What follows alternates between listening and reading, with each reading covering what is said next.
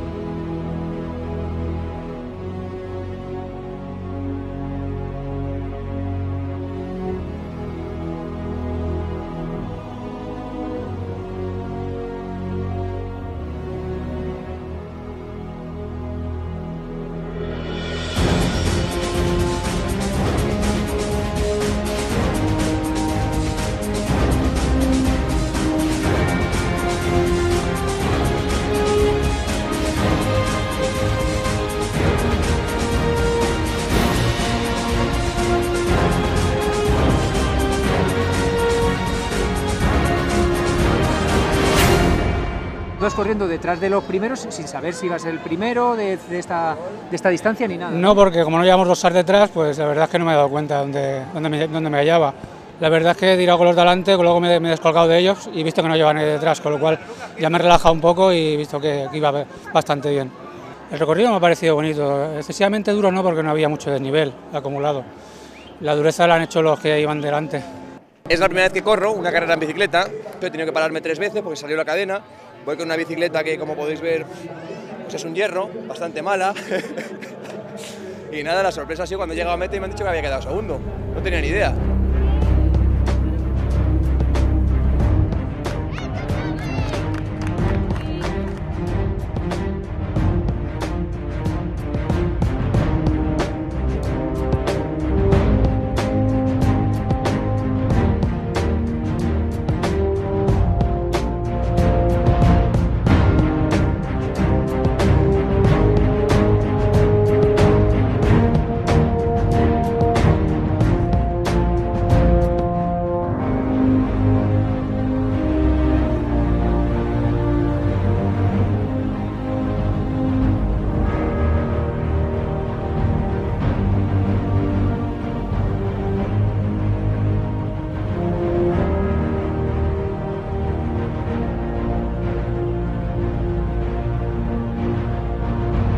La carrera pues ha sido muy rápida, son unos senderos la, verdad bastante bonitos, muy rápidos. Eh, ha salido Juan Pedro marcando el ritmo desde primera hora muy rápido, muy rápido, muy rápido. Ha hecho un par de cambios de ritmo bastante importantes. Yo he aprovechado que en uno de esos cambios de ritmo he contraatacado.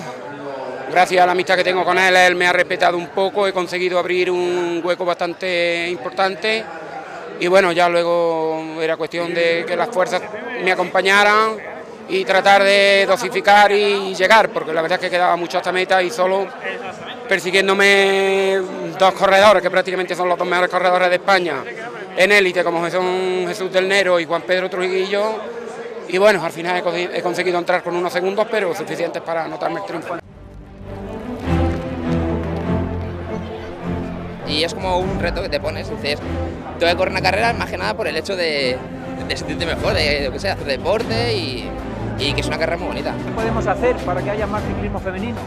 Pues no lo sé, porque vamos, yo le animo a todas que esto, hombre, es duro, pero es muy bonito y gratificante. Antes las carreras hace 5 o 6 años eran 200, 300 personas ver que hay 1.300 corredores, con lo que supone traer las bicis, etcétera, es una pasada. El objetivo principal que tiene la Peña Ciclista es la de juntarnos un grupo de amigos, hacer deporte y fomentar eh, este bello deporte que es el ciclismo y con la idea de crear una, una escuela para también trabajar con la base.